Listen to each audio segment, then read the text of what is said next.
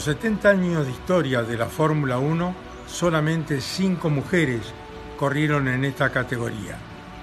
Giovanni Amati fue la última en 1992 y la primera en 1958 María Teresa de Filippis, que debutara con una Maserati, esta pilota napolitana que realmente hizo historia por su audacia, por su juventud en aquellos años tan difíciles de la categoría.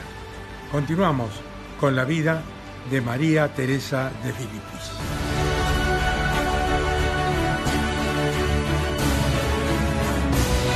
Compartió pista con Juan Manuel Fangio, Stirling Moss, Peter Collins, Mike Hawthorne, Phil Hill, Chuck Brabham y muchos grandes pilotos de aquella época, la de los albores de la Fórmula 1. María Teresa de Filippis se midió con todos ellos en autos que alcanzaban velocidades cercanas a los 270 kilómetros por hora y no tenían la seguridad de ahora.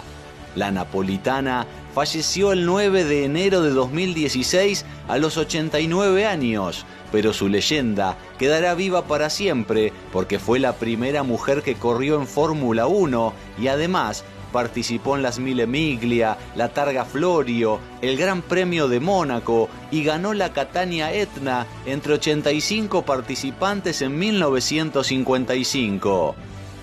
Fue en 1958 cuando debutó en la máxima categoría mundial a los 31 años, utilizando nada menos que la Maserati que corrió Fangio en la temporada anterior, la célebre 250F de la épica carrera Nürburgring.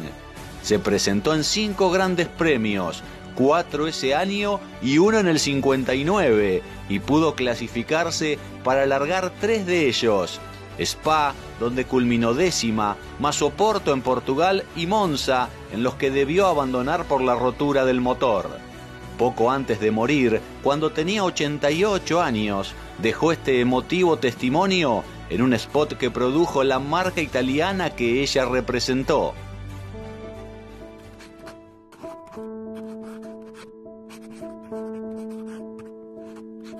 Nella mia vita sono stata stimolata da molte persone, ma soltanto da un tipo di automobile.